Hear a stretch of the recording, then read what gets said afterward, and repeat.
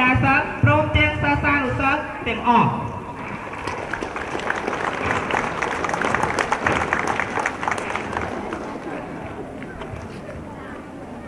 ជាបន្តទៅទៀតនេះ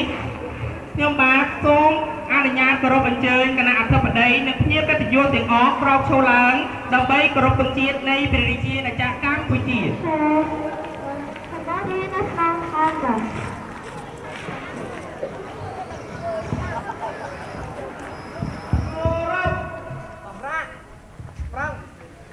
ទេក្នុងជាតិក្រប